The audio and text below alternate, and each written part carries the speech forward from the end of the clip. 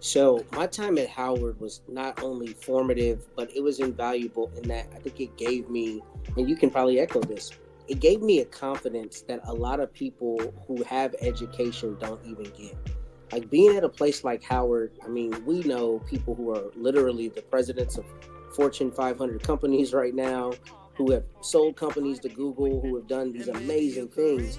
And I think just being around that bastion of people who are vibrating at such a high level, who are so ambitious, and who, for the most part, are willing to help others along the way, to me, really cemented how I approach law and just gave me a confidence that I don't think I would have gotten